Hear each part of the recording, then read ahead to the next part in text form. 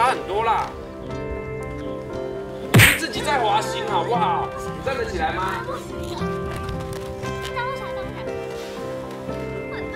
在《天外奇迹》这部动画里面呢，有一个小男孩自己抓了一把气球就飞起来了，他要去救人。所以问题就来了，这一把气球到底是多少气球才能飞起来？飞起来之后，我们要如何控制方向和如何降落呢？我们今天就来实际测试看看。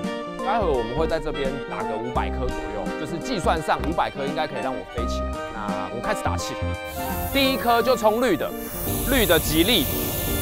但我觉得这会搞很久哎。哎，杰哥，你们也去帮忙冲。它蛮不好绑。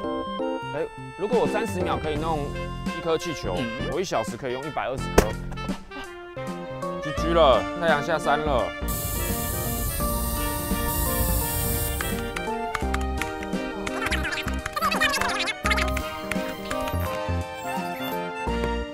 们没有想到这么多人绑气球，还绑这么慢。然后因为天太暗了。风又很大，所以我们决定中场休息。我们先把气球藏在这个大货柜里。明天早上，我们大概半夜会来继续把剩下的气球充充完气。然后早上他们说大概五六点风是最小的时候，我们就可以正式的起飞。现在就是有点尴尬，已经早上六点零八了。绑气球这件事情真的是比想象中的痛苦很多。我们来绑的人大部分手能磨破皮的都磨破皮了。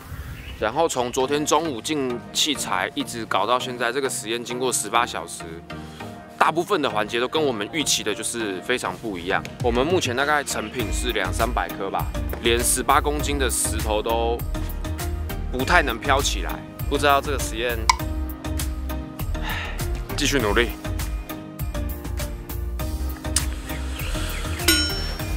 这个实验暂时没有办法继续了，就是我们没有人绑气球。手太痛了，然后等我们去叫完人回来绑，不知道可能要叫十个以上才来得及快速的把球全部准备好，因为它放着不动看起来很稳，可是其实都是在慢慢的消气的嘛。大家有玩过气球应该知道，所以现在呃 不管什么气球，反正你想用气球把自己吊起来，你要克服的第一个难关是绑气球手很痛。嗯我们现在表演的是一个失败的实验，经历十二小时创造的两百颗气球，先看看能不能让那个二十公斤的石头飞起来。你不要看我们这样子哦，我们已经花了五万块了，号召免费人力帮我们绑五百颗气球。我跟你讲，没绑过的时候你都兴高采烈啊！你现在看到现场所有的人刚刚来的时候都兴高采烈，都觉得来玩。然后你大概绑三十颗左右手破皮之后，你就想回家了。就像我现在就真的蛮想回家的，我放手了。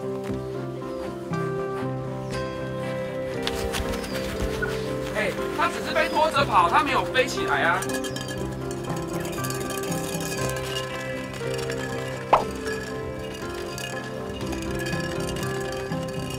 哎，感觉应该是可以的。哎，我就说很重，你们在干嘛？快来啊！不要再幻想用什么气球把自己飘起来了。好不好？你连气球还没冲完，你就放弃这个烂计划了？怎么办？好，放放脚可以吗？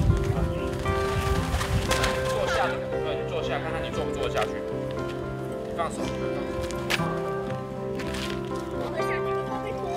不会啊，差很多啦。你在滑行，好不好？你站得起来吗？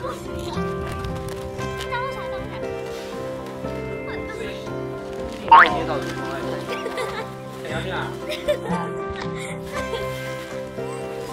好，这样可以。来，来，来，把它绑起来啊！你们两个有拉着是不是？你们放手看。他真的会被拖走？站得住吗？很有点。绑起来吧，绑起来。这一坨目测两百吧。我们就是花了两天的时间和很多的钱做了这个，Money 在空中飘。